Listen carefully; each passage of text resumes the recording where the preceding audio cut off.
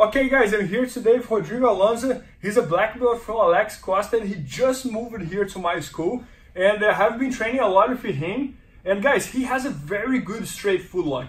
And uh, the, the straight foot lock that he plays is very tricky because he gets you when you are recovering the guard. So he started doing like a blitz to pass your guard and then when you try to recover the guard, he jump in the straight foot lock and you don't even see from where it's coming. So I'm excited to learn from him today, and let's see how he does it. There you go. So a lot of times I like to pass with the over-under. So I'll, I'll, put pressure on there and I'll start passing. But in order to prevent it, a lot of times they'll try to recover guard and they'll they'll put their shin out like this and they'll have to uh, unlock their half guard in order to, to probably defend it.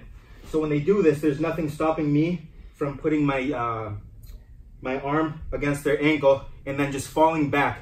And as I fall back, I try to extend this leg, my left leg, to get it on their hip and fall here so that I can finish it. I keep this one here tucked in on the back of their leg or on the back of the other leg or sometimes even here if, I, if I'm gonna roll. And then from there, you just finish it like a regular footlock. You arch back and it comes in a lot quicker than uh, just a traditional footlock. So one more time, uh, Rodrigo.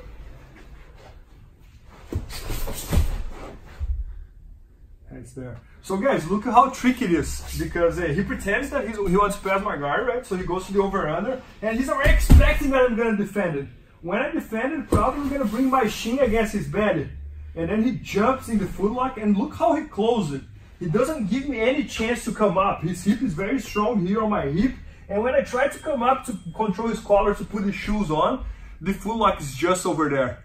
So guys, it's very cool because just coming in. Uh, guys, he can use that from everywhere. Even if he's doing like toreando, for example. Look, he's gonna try to do the toreando. I try to block, and then he will, he goes there. So very, very tricky one. And you can see how he has the sequence in place to wait for that happen.